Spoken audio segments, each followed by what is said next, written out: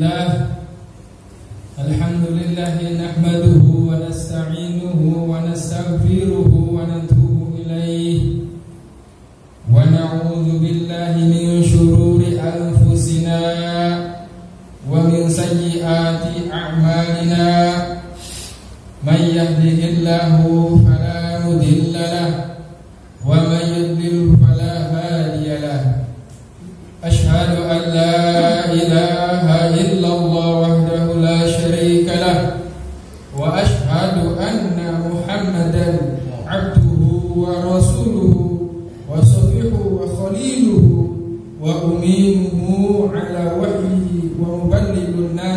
شرعه ما ترك خيرا إلا دل الأمانة عليه ولا شرا ألا حذرها منه.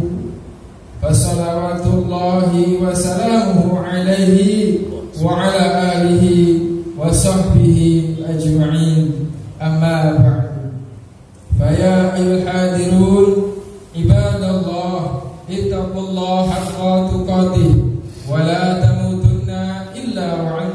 وأنتم مسلمون عباد الله اتقوا الله تعالى وراقبه مراقبة من يعلم أن ربه يسمعه ويراه Hadirin jamaah Salat Jumat rahimahumullah Pertama-tama dan yang paling utama Marilah senantiasa kita Panjatkan puja puji syukur kita kepada Allah Subhanahu wa taala dengan terus kita mengoptimalkan ibadah kita kepada Allah Subhanahu wa taala dan salawat terkirim salam tercurah limpah kepada junjungan alam baginda Nabi kita Muhammad sallallahu alaihi wasallam kepada keluarga, sahabat, para pengikut dan kepada kita selaku umatnya yang terus menerus berusaha mengikuti jejak langkahnya.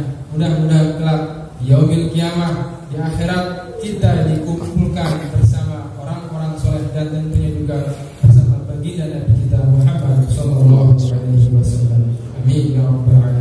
Dari mimbar yang mulia ini, khatib ingin berwasiat wabil khusus untuk diri khatib pribadi dan kepada seluruh jamaah sekalian. Marilah senantiasa kita meningkatkan ketakwaan kita kepada Allah Subhanahu wa taala dengan terus-menerus menjalankan segala apa yang menjadi Allah dan menjauhkan segala apa-apa yang dilarang oleh Allah dan Rasulnya. Hadirin jamaah rahimakumullah.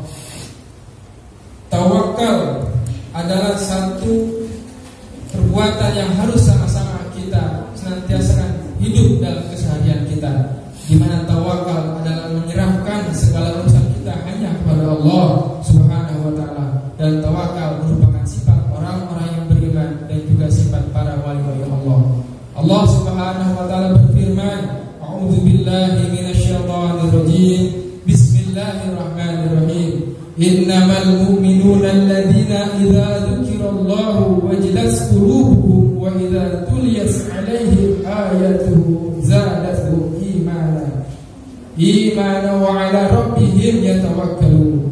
Sesungguhnya orang-orang yang beriman ialah mereka yang apabila disebutkan nama Allah bergetarlah hati mereka dan apabila dibacakan ayat-ayat Allah bertambahlah keimanan mereka karenanya dan hanya kepada Tuhanlah mereka bertawakal.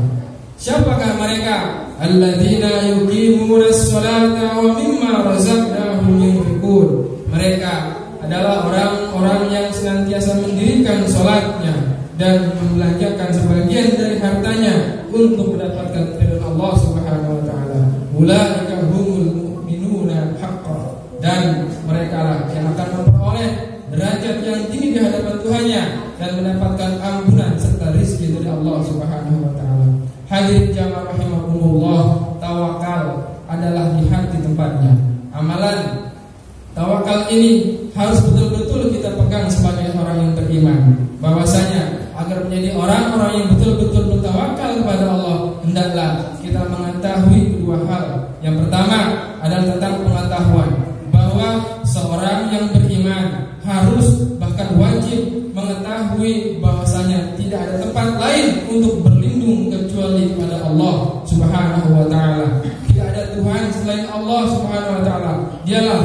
yang Maha Agung, yang maha mengatur segalanya. Jika ia berkehendak, maka pasti akan terjadi.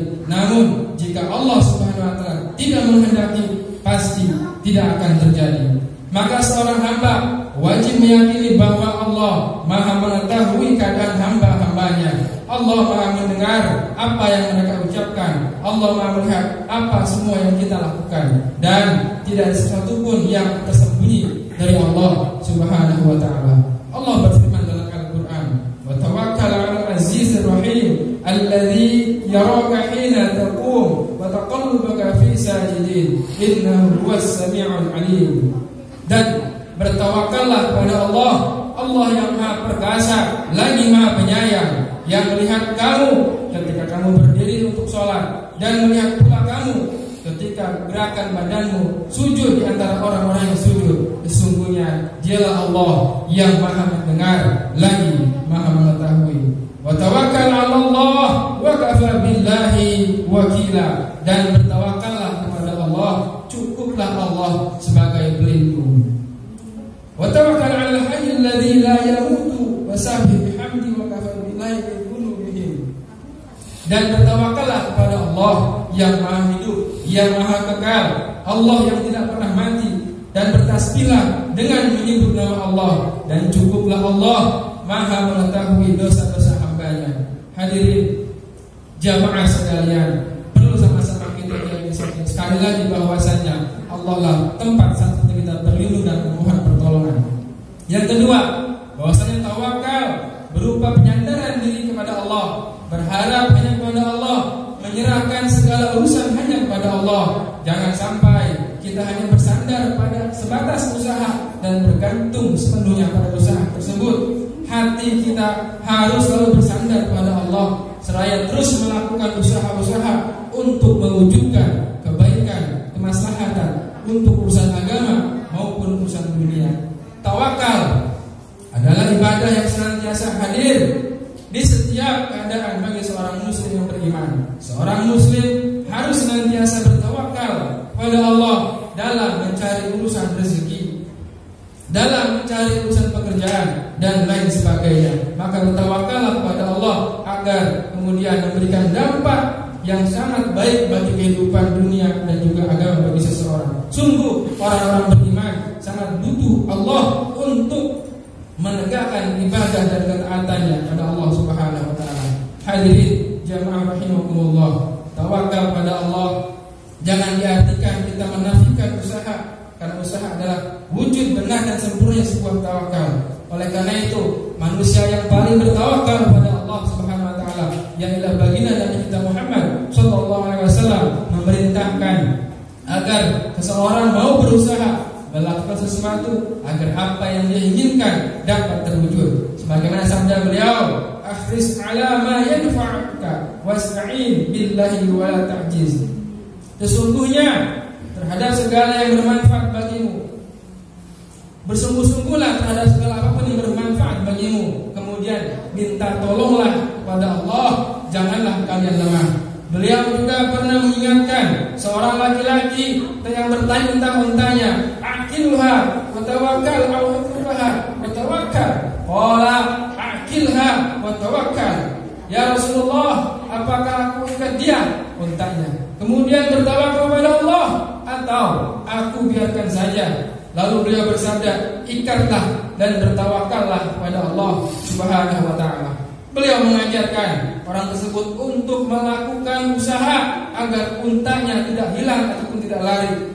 Dalam hadis yang lain dari riwayat Tirmizi dari Umar bin Khattab radhiyallahu anhu, baginda Rasul sallallahu alaihi wasallam, "Lau annakum kuntum tawakkaluna 'ala Allah haqqa tawakkulihi la ruzqnakum la ruzqtum kama turzaku tayru tagdud hitaman fatarhu bitonan." Jika kalian bertawakal kepada Allah dengan sebenar-benarnya tawakal, pasti Allah akan memberikan rezeki kepada kalian sebagaimana seekor burung yang berangkat di pagi hari dalam keadaan kosong perutnya, lalu kemudian pulang di sore harinya dalam keadaan penuh perutnya, ataupun kenyang. Usaha burung tersebut adalah berangkatnya ia di waktu pagi di awal waktu untuk mencari dan menjemput rezekinya. Maka itu Umar bin Khattab radhiyallahu an pernah mendengar seseorang yang keluar dari rumahnya tanpa usaha dan perbekalan. Lalu orang tersebut mengatakan, "Kami adalah orang-orang yang bertawakal kepada Allah." Lalu Umar menjawab, "Kalian adalah orang-orang yang pura-pura bertawakal. Sesungguhnya orang-orang yang bertawakal kepada Allah adalah mereka yang keluar dari rumah kemudian menyemai benih di tanah, lalu setelah itu bertawakal kepada Allah Subhanahu wa taala. Dari sini dapat kita pahami bersama bahwa tawakal pada Allah harus juga disertai dengan usaha atau ikhtiar dan bermanfaat bagi diri kita sekalian yang bisa menghasilkan untuk kebaikan-kebaikan diri kita untuk urusan dunia dan urusan akhirat. Dan dari situ kita ambil kesimpulan bahwasanya seseorang juga tidak boleh bergantung semata pada usaha dan kemudian setelah itu selepas itu selesai begitu saja. Wajib bagi kita setiap mukmin yakin sepenuhnya pada Allah dan bertawakal kepada Allah dan menyerahkan hasilnya hanya pada Allah Subhanahu wa taala. Berkaitan dengan itu, kondisi saat ini kita semua paham, kita semua mengetahui bahwasanya pandemi Covid-19 kewajiban kita bertawakal kepada Allah, menyerahkan segala urusan kita hanya kepada Allah. Namun terlebih dahulu kita juga wajib berikhtiar mengikuti protokol kesehatan di mana pun kita berada. Kita diwajibkan untuk menggunakan masker, rajin mencuci tangan dan sebagainya yang tujuannya adalah untuk kesehatan. Yang mudah-mudahan juga setelah itu kita bertawakal pada Allah bahwasanya urusan sakit, urusan sehat, urusan kehidupan, urusan kematian itu adalah kehendaknya Allah Subhanahu wa taala. Mudah-mudahan Allah jadikan kita semua orang-orang yang bertawakal kepada Allah dan selalu kita disehatkan oleh Allah Subhanahu wa taala. Allahumma mun alaina ajma'ina bi an nakuna minal mutawakkilin 'alaika haqqan wa sidqan wa inna ya dzal jalali wal ikram wa wafiqna lima tuhibbuhu wa tardahu innaka sami'ud du'a wa anta 'alimul raja'i wa anta hasbunallahu wa ni'mal wakeel. اللهم صل على سيدنا وحبيبنا ونبينا ومولانا محمد.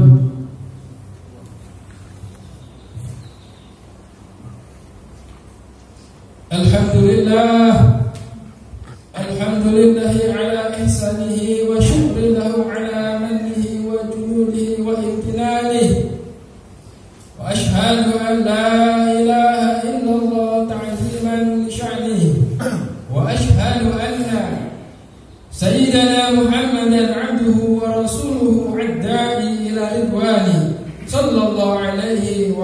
آله وأسلمه وعوانه أما بعد.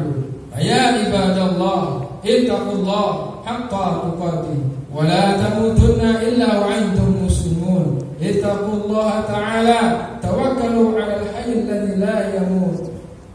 عباد الله وصلوا وسلموا. رعاكم الله على محمد بن عبد الله كما